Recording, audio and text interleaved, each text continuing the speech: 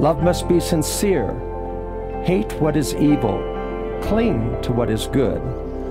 Be devoted to one another in brotherly love. Honor one another above yourself. Never lacking in zeal, but keep your spiritual fervor serving the Lord.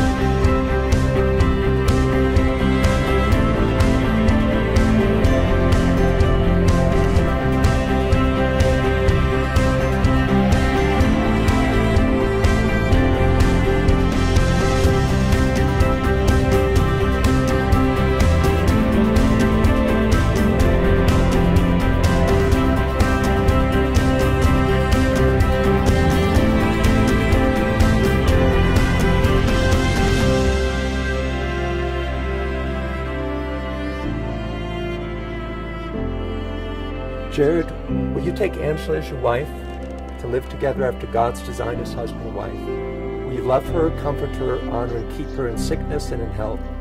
And forsaking all others, remain faithful to her so long as you both shall live. If so, say, I will. I will. Angela, will you take Jarod as your husband to live together after God's design as husband and wife? Will you love him, comfort him, honor and keep him in sickness and health? And forsaking all others, remain faithful to him so long as you both shall live. If so, say, I will. I will.